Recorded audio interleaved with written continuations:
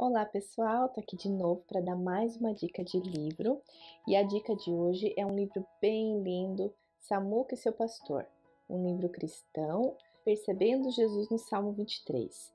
É um livrinho muito encantador, gente, e nós gostamos demais aqui em casa. Então, foi escrito pela Susan Hunt, é a escritora do livro. Então, cada capítulo do livro ele vem trazer um verso do Salmo 23, né? Então aqui o primeiro é o Senhor é meu pastor, nada me faltará. E aí a autora desenrola uma história de uma ovelhinha que vivia num pasto que era muito bem cuidada pelo seu pastor, o pastor cuidava dela, passava óleo para não vir bichinhos.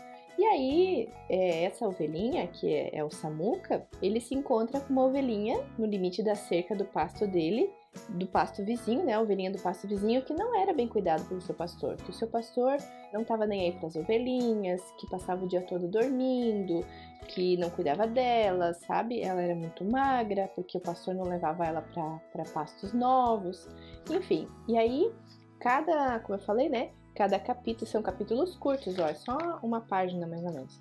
E aí, cada capítulo é um verso do Salmo 23 e cada verso ela vai desenrolar sobre aquilo. Ele me faz repousar em passos verdejantes. Então aqui vai, né, vai contar a parte em que o Samuca fala para a ovelhinha vizinha que o pastor sempre leva eles para pastos melhores. E é muito legal, gente. E no final de cada capítulo tem aqui, ó, vamos conversar. E aí ele tem ali, capítulo 2, página 45.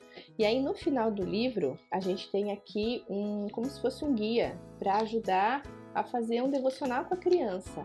Por exemplo, aqui, ó, no capítulo 2, né? Esse aqui é o capítulo 2. Aí a Bíblia diz, né? Que tem aqui a Bíblia diz que nós somos amados e tal.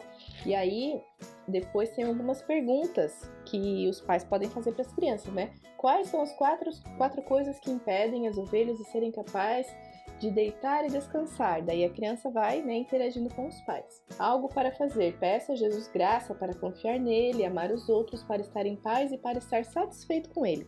Então, além de ser um livro de história, né, a historinha do Samuca, ainda é um livro muito legal para ser usado como devocional, principalmente para crianças menores, porque não, não é uma história longa e não são perguntas difíceis. Ali eu creio que os quatro aninhos, que é a idade que tem a minha filha, já é bem tranquilo, né? A minha filha conseguiu entender bem a historinha. E para os mais novinhos, a gente pode trabalhar as imagens, né? A gente pode trabalhar com, com os desenhos, a gente pode trabalhar com a memorização do Salmo 23, que tem aqui ele completo no comecinho do livro, né? Então a gente pode trabalhar também a memorização com as crianças.